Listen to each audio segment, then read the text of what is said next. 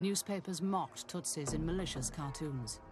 In 1990, the overtly racist newspaper Kangura published the Hutu Ten Commandments, a manifesto defining rules of conduct between Hutus and Tutsis. Hutu. Marries a Tutsi woman, befriends a Tutsi woman, employs a Tutsi woman, shall be considered a traitor. The Hutu should stop having mercy on the Tutsi. Quasi-religious sermons turned to thinly veiled threats.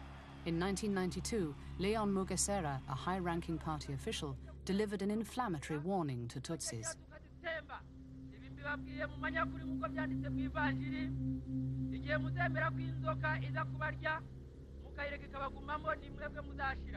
Leon basically said the Tutsi were an impurity. They had come from elsewhere. They'd come from Ethiopia. And they must go back to Ethiopia. And they must go back to Ethiopia not as living Tutsi, but as dead Tutsi.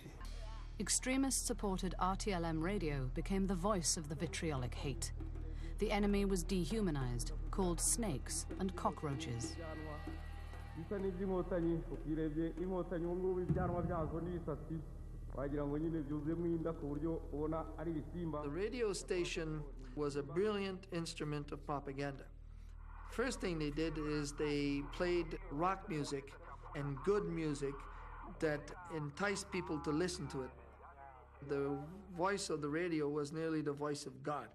uh, because that was the only means of communications that, that, that they had. It was a very interactive radio. People used to call them, uh, talk with them. You know, they, they used to come and it, it was direct, you know. It, it, it, it was always like improvisation.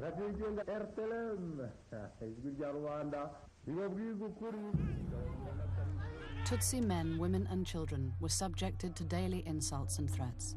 Soon the Interahamwe militia began to conduct military exercises openly. The warning signs could not have been clearer.